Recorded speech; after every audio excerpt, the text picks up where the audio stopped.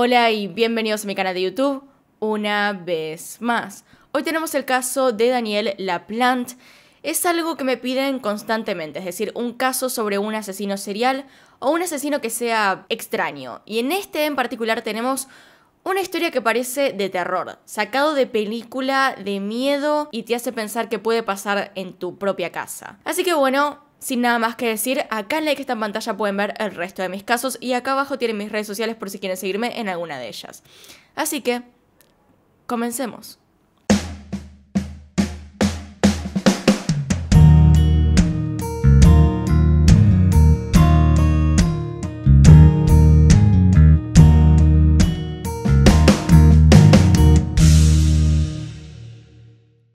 Él es Daniel J. Laplante.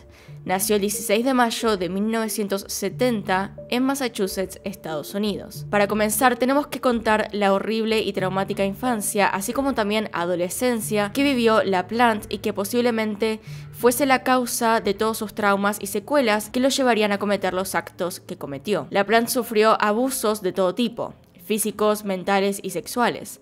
La mayoría de estos venían de parte de su padre. Todo esto se vio reflejado en el comportamiento social y escolar de la Plante durante su infancia. Fue diagnosticado con dislexia a muy temprana edad, no le iba para nada bien en el colegio, le costaba mucho aprender y su capacidad para tener relaciones sociales era prácticamente nula. Muchos de los que compartieron infancia con él lo describieron como raro, o siniestro. Estas conductas se agravaron una vez que llegó a la adolescencia. Su comportamiento era cada vez más errático. No tenía cuidado con su higiene personal y su rendimiento académico era cada vez peor. Por estas razones es que le intentaron dar ayuda psiquiátrica para ver si tal vez le podía servir de algo. Sin embargo, no hizo más que empeorar su estado mental. Sucede que el psiquiatra que atendía a la plant comenzó a abusar sexualmente de él. Evidentemente, no lo ayudó en lo más mínimo. Durante casi un año fue abusado sexualmente por su psiquiatra. Es decir, las dos figuras que debían cuidarlo, su padre y el psiquiatra, simplemente no lo hicieron y encima de esto abusaron y perjudicaron mentalmente a esta persona aún más. Más allá de lo que estoy diciendo ahora, quiero recalcar que no estoy en ninguna parte justificando su comportamiento más tarde, sino que todo esto pudo haber sido un empujón a lo que pasaría. Con este estado mental es que entre los 16 y los 17 años, la Plant comienza a entrar en diferentes casas para robar. Pero más que nada, él buscaba hacer una especie de juego mental, es decir, no solamente entraba a robar, sino que además intercambiaba dos objetos del lugar, a veces desacomodaba algunas cosas, todo esto para que la gente realmente se diera cuenta de que alguien había entrado o de que algo había pasado que no era normal. Él tenía esta particularidad en cada casa en la cual entraba. Uno de los hechos más perturbadores dentro de los crímenes de la Plant es de hecho el que precedió al mayor crimen que cometió. En 1986, después de estar robando durante un tiempo algunas cuantas casas, descubrió el número de una en particular. No se sabe exactamente cómo consiguió este número de teléfono, pero lo que sí está claro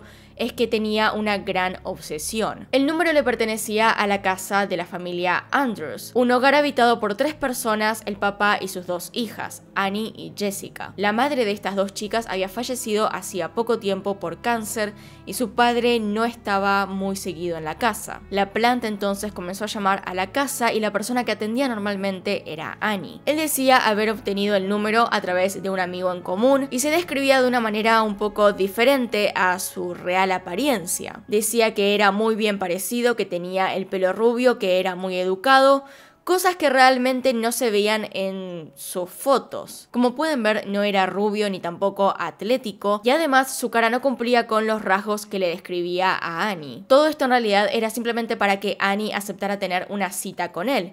Y ella de hecho aceptó. Cuando la plant se presentó ante ella, evidentemente notó que no era quien decía ser, que no parecía en absoluto lo que había descrito. Sin embargo, Annie aceptó continuar con la cita de todos modos. Es durante este día que él se entera de la muerte de la madre de Annie y de cómo había fallecido. Entonces le comienza a preguntar algunas cuantas cosas un tanto peculiares, como por ejemplo, cómo habían sido sus últimos momentos de vida y cómo se sentía ese dolor que habían tenido y todo ese sufrimiento. Evidentemente todo esto se volvió demasiado incómodo para Annie y decidió después de una hora terminarlo. A partir de ese momento Annie dejó conscientemente de tener contacto con él.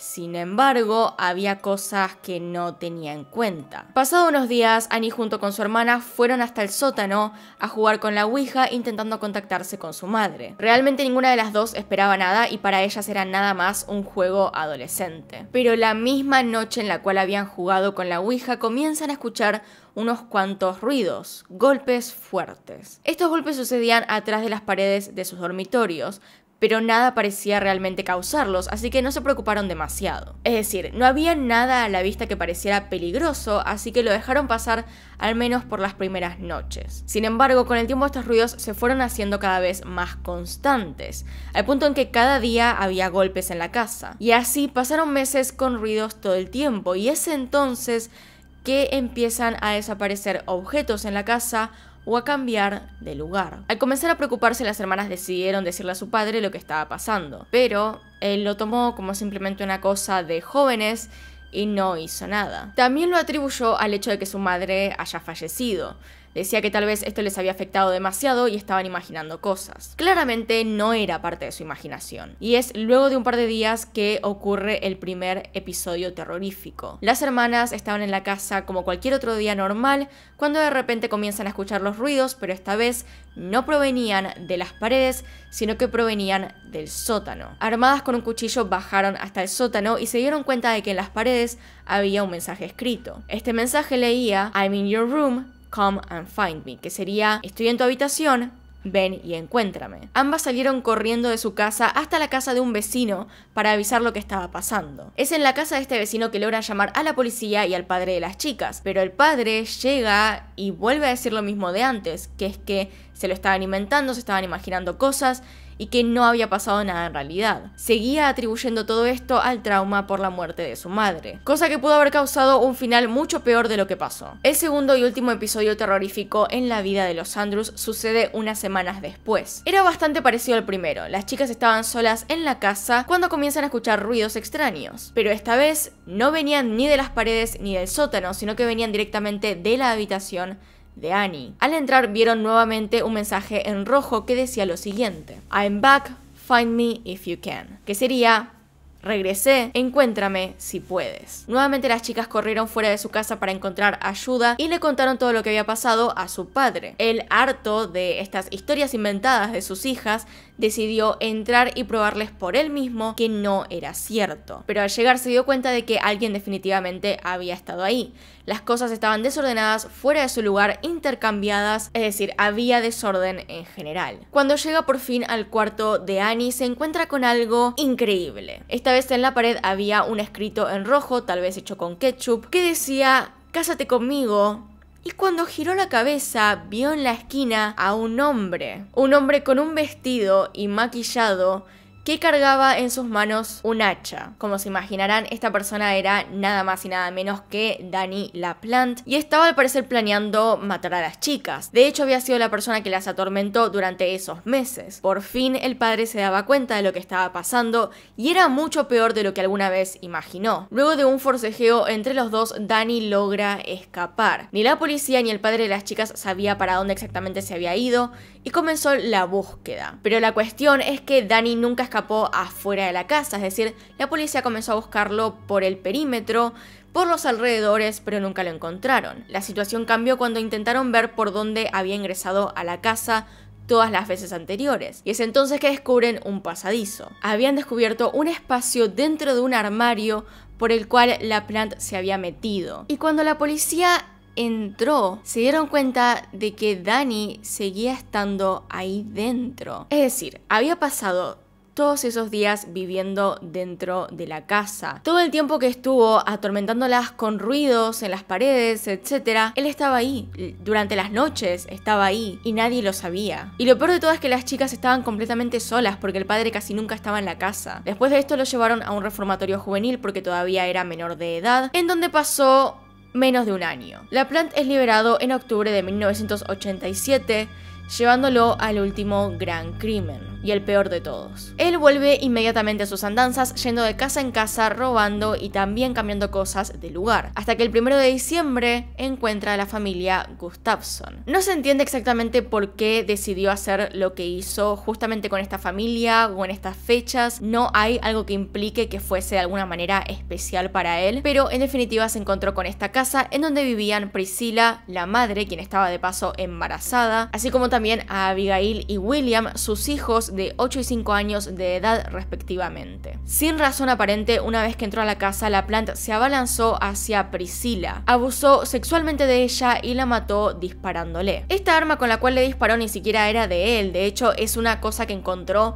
en otra casa robando. Y luego de matar a la madre, siguió con todo este plan sádico que tenía. Fue con Abigail y William y los ahogó en la bañera. Para ese momento, Andrew Gustafson, que era el esposo de Priscila, no estaba en la casa, sino que estaba trabajando. Y es cuando vuelve que se encuentra con el cuerpo de su esposa tirado en el suelo. Él llama a la policía pensando que sus hijos estaban desaparecidos, que la persona que le hizo eso a su esposa se los había llevado. Sin embargo, cuando la policía revisó la casa, se encontró con los cuerpos de los dos niños todavía en el baño. Para el momento en el cual descubren los cuerpos, la planta estaba intentando huir de la escena, pero para eso decidió secuestrar a una mujer y a su auto para que lo llevasen. La mujer afortunadamente pudo escapar y al dar su testimonio a la policía no fue muy difícil conectar a la plant con esta persona que le había intentado robar el auto. Y entonces siguieron sus pasos hasta un tacho de basura grande, es decir, un contenedor de estos